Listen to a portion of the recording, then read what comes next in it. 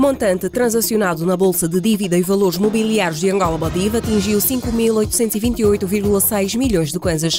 Na sessão foram realizados 23 negócios que permitiram a compra e venda de mais de 65 mil títulos do Tesouro.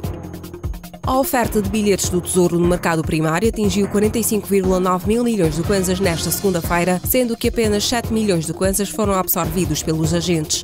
Os bilhetes do Tesouro foram emitidos para maturidade de 322 dias, a taxa de juros de 15,40%. O Banco Africano de Desenvolvimento vai aprovar até setembro um apoio orçamental a Angola para reduzir consideravelmente o déficit das contas do Estado, afirmou o representante do banco em Angola.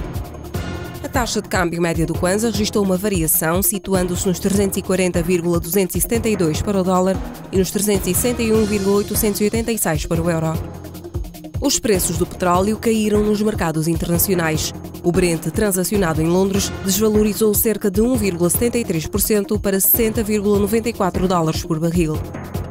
A economia do Ruanda cresceu 8,4% em termos homólogos no primeiro trimestre de 2019, um recuo comparativamente aos 9,6% observados nos últimos três meses de 2018. O setor dos serviços avançou 8%, menos 3 pontos percentuais face ao trimestre anterior, e o setor industrial cresceu 18%, um avanço de 6 pontos percentuais.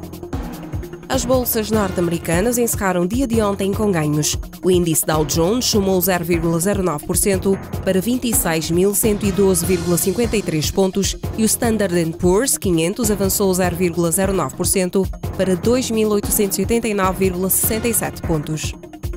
Estaremos de volta amanhã com mais notícias dos mercados financeiros. Thank you.